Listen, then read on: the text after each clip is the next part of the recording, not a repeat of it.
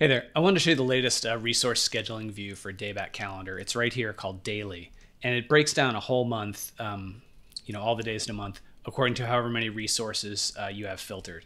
I've kind of picked a bunch of resources here. So it's super useful. Um, and you got a couple of options. Obviously, you can kind of see everything that's happening here. If you turn off snap to month, it'll only show as many days as you have selected here. So we can switch that to 14 and then kind of move around or use the, the calendar picker over here to navigate. Um, I like it with snap to month on. It's it, it gets really useful this way. Um, and it works great with the filters. So we can say um, I am only interested in things where there are errors and just kind of see what's going on. Obviously, that's the current day. You can drag things to uh, from resource to resource to reschedule them like this, which is great. Um, and I can also use it kind of with the text search filter. So I can just type for Marty and kind of see that, you know, Amy's taking truck one to Marty out here, and you know, do I need to do anything about that?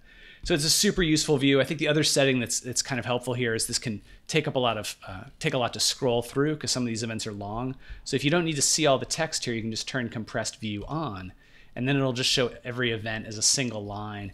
It makes it a little easier to get everything um, with just a few scrolls. And obviously, you can drag uh, to create a new event in whatever cell you want. And um, I hope you find it useful. Thanks.